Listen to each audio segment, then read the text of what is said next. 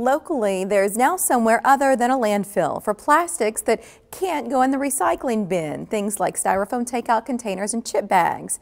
For years, those plastics were incinerated to make fuel.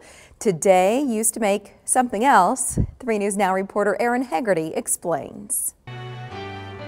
From this to this, last month Omaha's recycling company Firstar Fiber began production of plastic lumber made from plastics that can't be recycled otherwise like styrofoam, straws, any plastic that can't go in the recycling bin. Once you have that bag full of those hard to recycle plastics, just throw it in with the rest of the recycling. Since this program launched in Omaha in 2016, these bags were sent to Kansas City to be turned into fuel for cement production but not anymore. In about a month, they've made more than 800 of these boards. They're a bit heavier than lumber made from trees, but they say it holds up much better. Plastic lumber from Omaha's orange bags are already out in the community. These benches outside of what will be the new youth detention facility but these were made somewhere else before local production started. We're being pretty much a model for what the industry is looking to achieve. Omaha was one of the first to implement the orange bags. Dale Gubbels is the president of Firstar Fiber. Our belief is these materials are resources,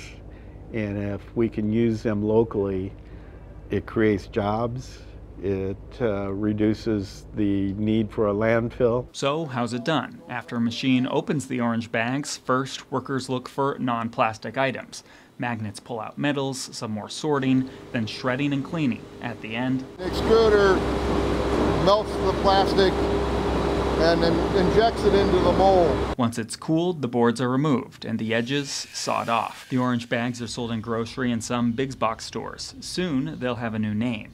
They'll become the Renew bags this spring, all in an effort to give a more permanent use to those plastics we'd otherwise use just once. In Omaha, Aaron Hegarty, 3 News Now. Isn't that cool? The first couple thousand boards will be used by a local program where kids are building garden beds. But Firstar Fiber says eventually these boards will be available for us to buy. Mayor Jean Stothert touched on recycling in her State of the City address last week. She said recycling in Omaha is up 31% since switching from bins to larger carts in late 2019. As for the orange bags, Firstar Fiber says they've consistently received about 20 tons every month, though last month the total approached 30 tons.